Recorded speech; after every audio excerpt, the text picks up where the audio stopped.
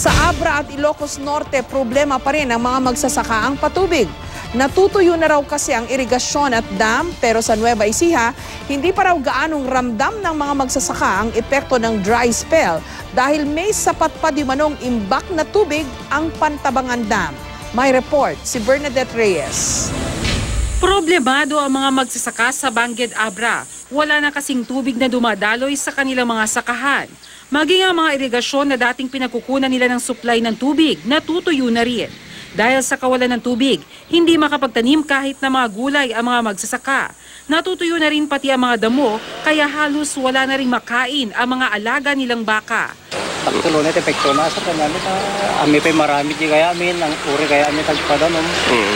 Awam kay mati sources ti dano mga pang family na natangmin ko man.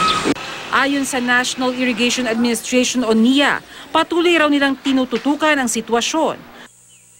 Halos wala na ring tubig sa dam na ito sa Marcos, Ilocos Norte, pero pilit pa ring naglalaba ang ilang residente. Pero ang mga magsasaka, nababahala na raw sa pagkatuyo ng dam na pinagkukunan nila ng tubig para sa kanilang mga sakahan. Halos wala na rin daw makuhang tubig mula sa mga balon. Talagagtikag. Oo, sir. So pangalan niyo artikuatan pagtalo niyo ito. eh. Awan matulan nagtudong, sir. Nagtudo. Pero sa Nueva Ecija, hindi pa raw problema sa ngayon ang patubig.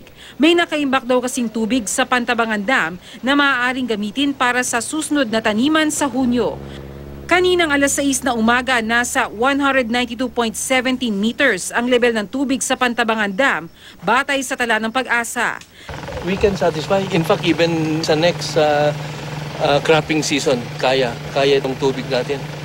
Laking pasasalamat naman ng isang grupo ng mga irrigator at hindi na lamang sila sa mailap na ulan umaasa.